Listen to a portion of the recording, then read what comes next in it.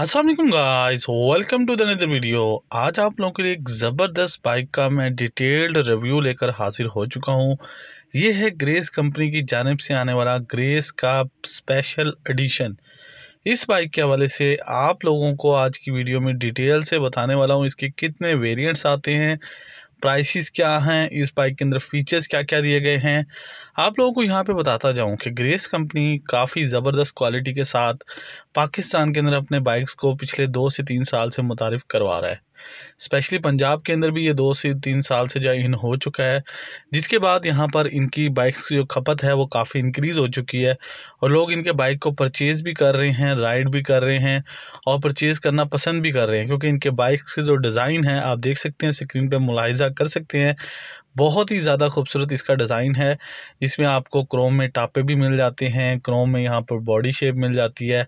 Chrome में आपको एग्जास भी क्रोम पर प्लेटेड है और साथ साथ जो है आपको इंडिकेटर्स वगैरह भी क्रोम में दिए गए हैं।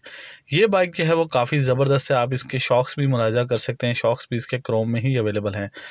उसके साथ साथ गाइस इसके अंदर जो स्पेशल एडिशन है, वैसे तो ग्रेस कंपनी की जानब से काफ़ी सारे वेरिएंट आते हैं पाकिस्तानी मार्केट के अंदर बट यहाँ पर जो इसका जो स्पेशल वाला वेरिएंट है, ये अपने आप में काफ़ी ज़बरदस्त है। इसमें आप देख सकते हैं फ्रंट लुक भी काफ़ी खूबसूरत है, आपको यहाँ पर अलाई व्हील्स की ऑप्शन भी दी गई है। साथ साथ इस बाइक के अंदर ना सिर्फ़ अलाई व्हील हैं, बल्कि आपको सेल्फ स्टार्ट जैसी ऑप्शन भी इस बाइक में दी गई है, जो इस बाइक की खूबसूरती के साथ साथ फ़ंक्शंस को भी काफ़ी बेहतर बनाती है। ये बाइक चलने में भी काफ़ी ज़बरदस्त है। आप देख सकते हैं, राइट असेंबली में आपको रेड कलर का ये जो बटन मिल जाता है, ये सेल्फ स्टार्ट का बटन है, जो काफ़ी अच्छी क्वालिटी का इंस्टॉल किया गया है। इसके मीटर की जानी बात करूँ तो मीटर भी काफ़ी डिसेंट सा मीटर दिया गया है। और ज़बरदस्त बात तो यह है कि ग्रेस कंपनी की जितनी भी चीज़ें हैं, वो इन्होंने अपनी पर्सनली डिज़ाइन की हैं, यानी कि आप मीटर का डिज़ाइन भी देख सकते हैं, काफ़ी डिफरेंट है।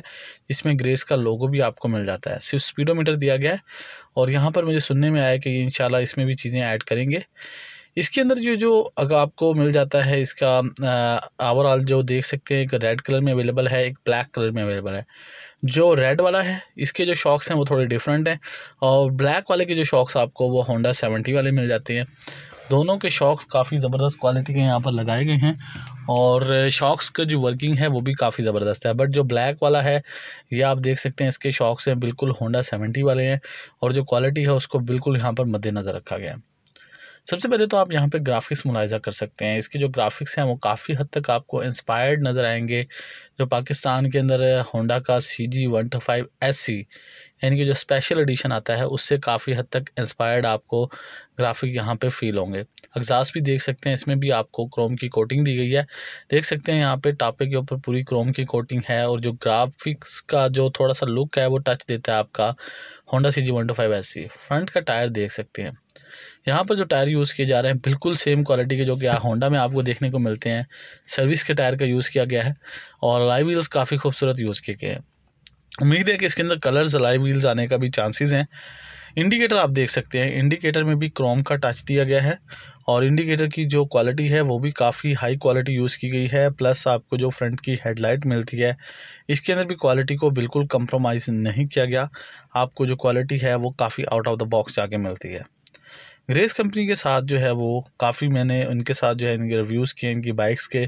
प्लस जो है मेरी, जो है इनके काफ़ी, जो है ना, इनके साथ मीटिंग्स भी हुई हैं, जिसके अंदर मैंने ये पाया है कि ग्रेस की जो बाइक्स हैं, ये क्वालिटी में बिल्कुल भी कंप्रोमाइज़ नहीं कर रही और यही वजह है कि ये पाकिस्तान के अंदर ग्रेस कंपनी बड़ी तेज़ी से जो है वो अपनी बाइक सेल कर रहा है और इनकी बाइक्स पाकिस्तानी मार्केट के अंदर काफ़ी तेज़ी से अपनी जगह भी बना रही हैं।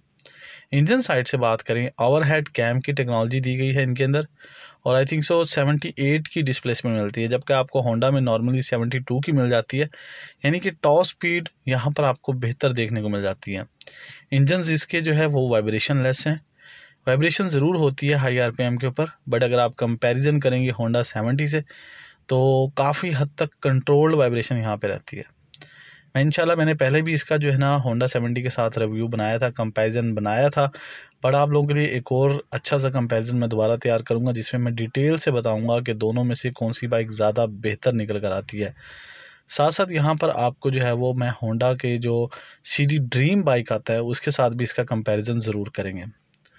बाइक के अंदर यहाँ पर मैं बताता जाऊँ को जो पेंट और बिल्ड क्वालिटी है, उसमें किसी भी हद तक कंप्रोमाइज़ नहीं किया गया।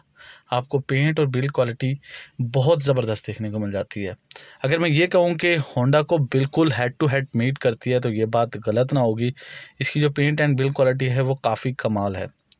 अगर राइडिंग के हवाले से बात करें बाइक राइडिंग में भी काफ़ी ज़बरदस्त है।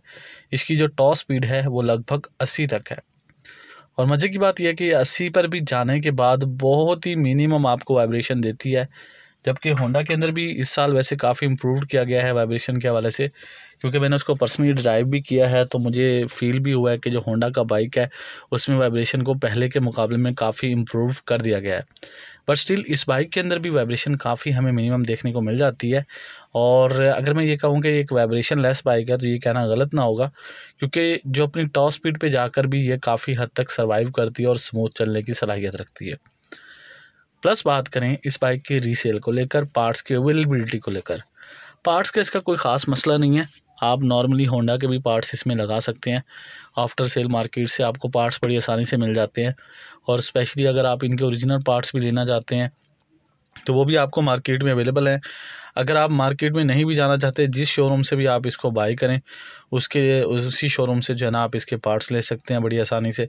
तो कोई भी पार्ट्स का ऐसा इशू नहीं है। मैकेनिकल इशू भी इस बाइक में नहीं है, क्योंकि इसके अंदर कोई रॉकेट साइंस नहीं है। ये बाइक आपको नॉर्मली सिंपल बाइक देखने को मिल जाता है। तो इस बाइक के अंदर कोई ऐसी एक्स्ट्रा चीज़ नहीं लगाई गई या कोई ऐसी रॉकेट साइंस नहीं ऐड की गई कि जिसकी वजह से आपको कोई मैकेनिकल इश्यूज़ का सामना करना पड़े। प्लस यहाँ पर आप ये बाइक मुल्तान में कहाँ से ले सकते हैं, मैं नीचे डिस्क्रिप्शन के अंदर आपको लिंक्स और नंबर प्रोवाइड कर दूँगा कोशिश करूँगा शोरूम की लोकेशन प्रोवाइड कर दूँ ताकि आपके लिए आसानी हो परचेज़ करने में और आप वहाँ से बासानी इसको परचेज़ कर लें। और आप हमारे चैनल का रेफरेंस यूज़ करके भी कुछ ना कुछ डिस्काउंट ज़रूर हासिल करेंगे। साथ साथ बात करें गाइज़ इस बाइक की इस वक्त कीमत क्या चल रही है? यहाँ पर आपके सामने दो मॉडल आ रहे हैं। एक ब्लैक मॉडल है, एक रेड मॉडल है। जैसा कि मैंने आपको बताया, जो ब्लैक मॉडल है, इसके जो आपको यहाँ पर शॉक्स मिलते हैं, वो बिल्कुल होंडा सेवेंटी वाले हैं।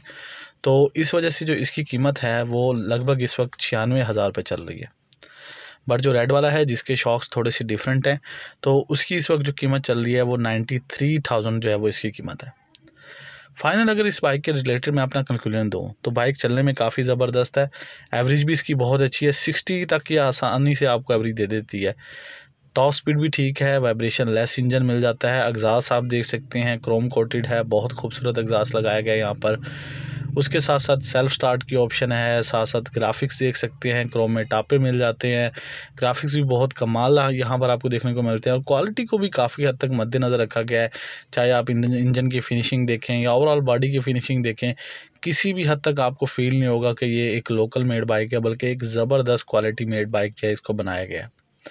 तो मेरी तरफ़ से हाईली रिकमेंडेड बाइक है। आल दो प्राइस थोड़ा सा ज़्यादा ज़रूर हो चुका है, वरना वो डॉलर की वजह से आपको पता है कि इस टाइम प्राइस क्या चल रही है और होंडा सेवेंटी जो नॉर्मल वाला है, वो भी आपको इस वक्त लगभग एक लाख छः हज़ार पाँच सौ का मिल रहा है। तो उस हिसाब से जहाँ पर आपको सेल्फ स्टार्ट जैसी ऑप्शन है, खूबसूरत डिज़ाइन अलॉय व्हील्स खूबसूरत से मिल जाते हैं तो मेरे ख्याल में एक अच्छा पैकेज निकल कर आता है। तो मेरी तरफ़ से आप लोगों के लिए हाईली रिकमेंडेड बाइक है, आप इसको ज़रूर टेस्ट आउट करें, जाकर शोरूम पर विजिट्स करें, नीचे डिस्क्रिप्शन में आपको नंबर मैं डाल दूँगा। इन आपको ये बाइक ज़रूर पसंद आएगा और मेरी तरफ़ से जो है ये एक बेहतरीन बाइक है इस प्राइस ब्रैकेट के अंदर। बाकी मैं इसका होंडा के साथ कंपैरिजन करूँगा, उसका इंतज़ार कीजिएगा। इन अगली वीडियो में मुलाकात होगी। अपना रखिएगा ख्याल मुझे दुआ में याद रखें। अल्लाह हाफिज़।